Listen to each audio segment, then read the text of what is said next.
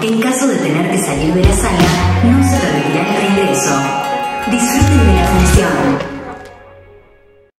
Bueno, Clara, qué suerte que viniste. Gracias por venir, porque en realidad, este, en un momento en que estamos todos en nuestras casas, un poco guardados, es lindo tenerte acá. Muchas gracias. Si querés, bajate Dale. el, el tapabocas. Esto es para, para que la gente te conozca, para que la gente conozca a los bailarines del Ballet Nacional.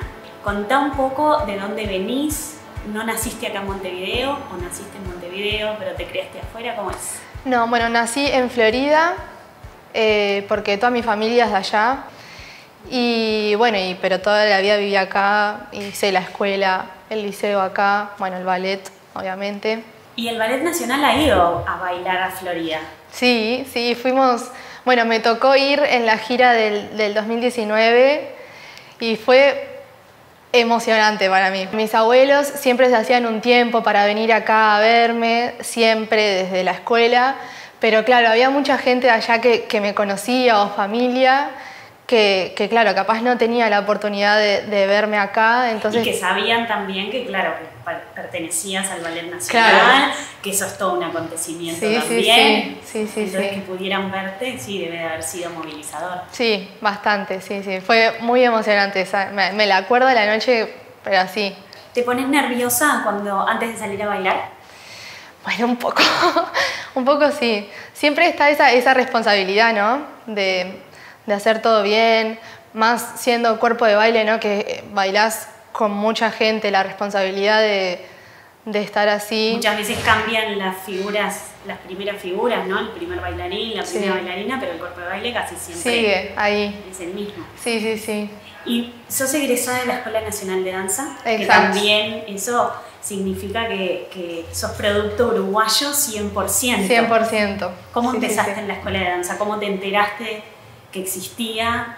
¿Por qué te presentaste? Bueno, mira, fue todo muy de casualidad. Siempre de chica me gustó bailar. Me acuerdo que un día estaba en la Plaza Matriz, yo vivo en la Ciudad Vieja, estaba en la Plaza Matriz y estaba bailando música que, que estaba sonando ahí en la calle y una señora se le acerca a mi madre y le dice, mirá, que hay una escuela de danza, que, que, va mucha gente, mi nieta va ahí, no sé si querés anotar, no sé qué. Un día fuimos con mi madre a anotarme, pero no cumplía con la edad para entrar, era más chica, entonces tuve que esperar un año más.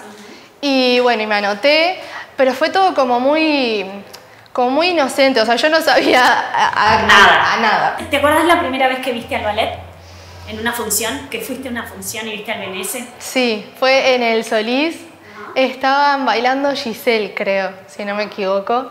Y fue todo también, todo un acontecimiento. Ir al Solís, a verlos, era como, wow, todos allá, todos peinados, el, el vestuario, todo, todo lo nuevo que era ir a, a, a ver una obra de ballet. Y además sabiendo que, bueno, capaz algún día podía terminar ahí. ¿Y cómo como... fue eh, ¿Cuándo te, te, presentaste la audición para el Venece? ¿Te acordás de eso? Sí, me acuerdo porque en realidad me presenté cuatro veces a la audición del BNS. -huh. En la cuarta recién pude entrar estable. Okay. Y la primera vez que no quedé fue como, wow, que uno le pone tanto, ¿no? Y le pone tanto sacrificio y tanto esfuerzo y, y, y se ilusiona. Y, y capaz, bueno, a veces no salen las cosas como uno, como uno quiere, pero um, me sirvió también para, para darme cuenta de, de, de, lo que tenía que crecer, madurar artísticamente también, pero bueno... Después las cosas pasan. Exacto, y me ayudó también a, a darme cuenta que capaz ese no era el momento. ¿Y, y te acordás de, ese, de esa primera clase con la compañía? Sí. Porque eso es algo que todo bailarín se acuerda. Sí. O sea, el, cuando entraste ya a una compañía y, y, decís, bueno, me están pagando por esto, uh -huh. eh, ¿qué, ¿qué, significó? ¿Cómo fue esa primera experiencia? El miedo, los con nervios. unos nervios, sí, mucho. Muy nerviosa. Por suerte, bueno, al ser uruguaya también conocía gente, entonces era como un poco más... Eh, más tranqui, pero igual, era, eran los nervios y era la presión de, bueno, ¿qué, ¿qué, se viene después de acá? Este es el primer día de muchos, ¿qué va a pasar? ¿Qué, qué tan verdad es cuando decís que sos bailarina y te preguntan eh, pero ¿qué haces de verdad? ¿A qué te dedicas? Y vos decís que sos bailarina y te vuelven a preguntar lo mismo. ¿Te pasó eso alguna vez? Me pasó, sí. Y Me da un poco de rabia. es que sí, es que, claro, yo entiendo que hay gente, pero no les pasa lo mismo a los pintores. Si dicen que son pintores, nadie le pregunta, ¿y qué? ¿Y te dedicas a otra cosa? Sin embargo, a los bailarines sí nos ponen como es, bueno, es, es la, la segunda opción. ¿cuántas horas ensayás al día? Y son ocho horas. Ahora me, me adelanto. ¿Vos hace cuántos años que estás en la compañía? Mm, Tres, Tres años. sí. Eh, bueno, viviste un montón de cosas, bailaste un montón de cosas, viajaste con la compañía, hiciste la gira nacional, pudiste volver a tu, a tu ciudad, Sí. bailaste para tu familia, ¿no?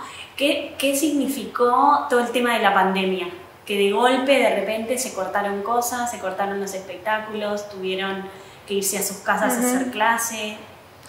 Al principio como que yo, por ejemplo, no entendía, o sea, no entendía, era consciente de todo lo que estaba pasando, pero dije, bueno, van a ser 15 días, me mantengo en casa, le pongo toda la mejor onda, todo, pero cuando se empezó a alargar ya y era como, bueno, y nos decían que podíamos volver, pero no, y mm, obviamente entendiendo todo el contexto, era lógico que, que no pasara de volver, pero bueno, fue, fue duro, porque mantenerse uno es, es difícil ya de por sí, en casa, sin, sin hacer nada, sin tener el apoyo de tus compañeros también. Y este año, empezaste el año, empezamos a ensayar, ¿no? Ya veíamos como que estábamos encaminados, Sí. ¿no? Eh, y después tenés, la posibilidad de estar en, el escenario otra vez. Pero entre medio de todo esto, tuviste COVID.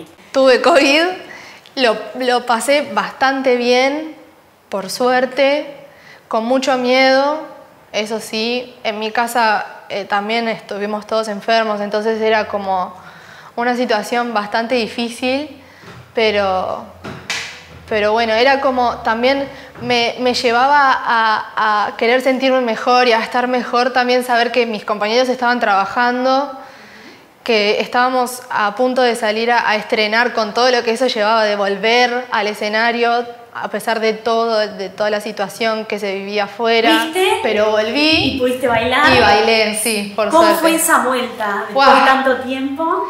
Eh, creo que son días que no me los voy a olvidar nunca, porque, bueno, yo soy muy sensible, pero estaba mucho más. Ahora tenemos que volver a casa. Sí. ¿Y cómo, cómo, cómo haces para mantenerte inspirada eh, y para decir, bueno, esto es parte de lo que estamos viviendo ahora? ¿Qué es lo que te mantiene? ¿Qué, qué es lo que de repente miras alrededor y tenés en tu casa que, que decís, bueno, por lo menos tengo esto, hago esto? No sé.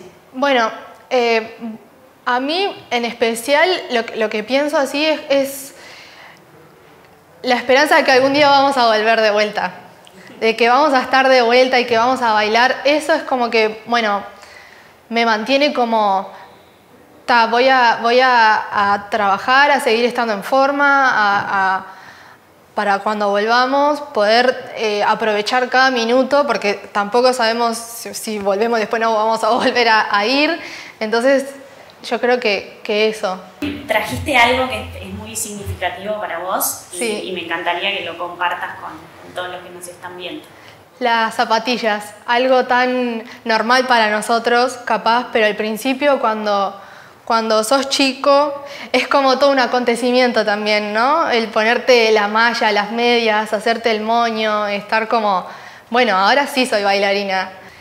¿Te, ¿Te acordás de alguna anécdota así divertida? Algo que te haya pasado, si te, te caíste alguna vez en el escenario, te olvidaste de la coreografía. Bueno. Yo me olvidaba de la coreografía todo el tiempo, por ejemplo. Por creo, que, creo que no, eso de la coreografía no. Sí tengo, tengo un pequeño problemita antes de estrenar, que sueño que, que llego tarde, que está la música empezando y yo estoy vestida así, no me, no me he hecho el moño, no me he maquillado nada y siento que tengo que salir tipo corriendo así, Ay, pero bueno. que me parece que le pasa a todos los bailarines. Ay no, es, es como un trauma, por Es eso llego muy temprano. ¿Qué, ¿Qué te gusta hacer además de bailar? Bueno, a mí me gusta la repostería. Ajá. Sí, hice un curso de repostería un año y me encanta, les hago las tortas a, a mis padres en, en- en sus cumpleaños o en, así, en ocasiones especiales. ¿Tenés cábalas antes de la función? Eh, no muchas. No, Lo único no que tenés- no uso son perlas. Perlas no usás No, para bailar. Para bailar no, lo único. Perfecto. Pero bueno, Perfecto. Yo tenía como esa obsesión que no podía salir al escenario sin caravanas. a mí me, me molesta, pero bueno, hay veces que... Está. Pero para la calle sí. Ah, sí, para la calle sí, sí, sí, siempre. ¿Qué, qué le dirías a- al público que se quedó sin verte y que tiene que esperar a, a cuando nos reintegremos otra vez? Y yo le diría que, bueno, como nosotros, que no, que no pierda esas ganas y ese entusiasmo de ir a, a vernos, que, que bueno, a pesar de todo, eh, por suerte el teatro es un lugar seguro para ir a vernos y que, y eso, que, que vayan, sí, que nos acompañen.